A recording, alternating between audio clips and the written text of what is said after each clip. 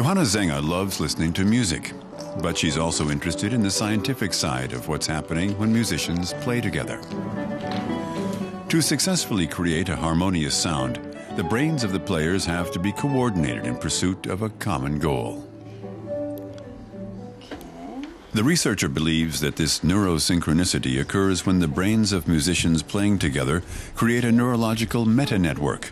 According to her, the phenomenon can be described as a kind of communal brain. Everybody has seen images of brain waves at the doctor's office or on TV.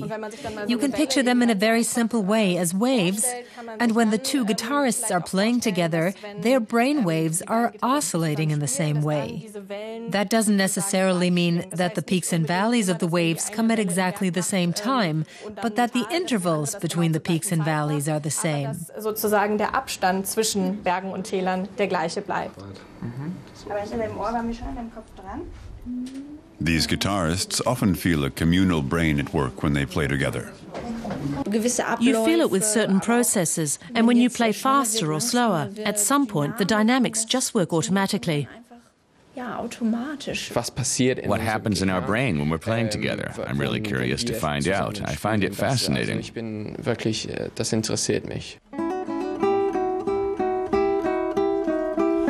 The research team found that the duo's brainwaves synchronize when they play a duet together. Sie hören das Metronom viermal, setzen dann zusammen ein, spielen einmal durch und warten dann. Sänger now wants to know whether the waves also oscillate in tandem when Viola Visa and Duncan Taylor are playing different parts. In this scenario, their two brains have to coordinate continuously.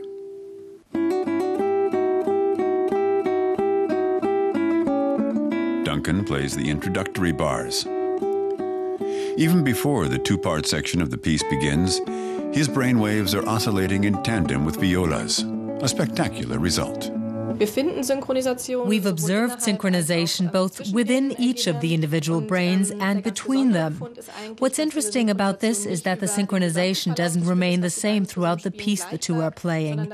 Instead, they are particularly synchronized at certain points in it, especially when they start a section together.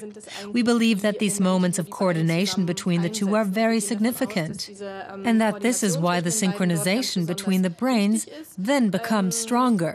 Eben dann auch die Synchronisation der Gehirne stärker wird. A neurological network also appears when several musicians play together. At this experimental concert, the brainwaves of some of the audience members are being recorded as well. And there are indications that their brains are also involved in or are responding to the network. Brainwaves can also synchronize during other activities, for example, while playing certain sports or in conversations.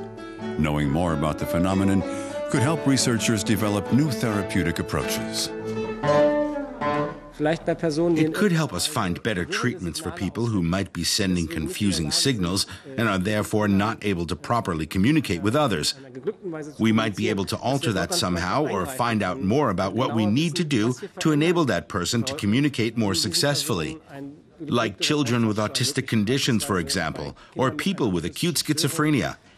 We'd like to have a positive effect on their ability to communicate.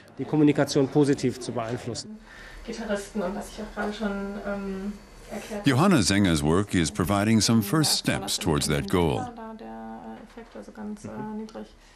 It's just one example of how basic research may one day lead to practical applications that can change people's lives.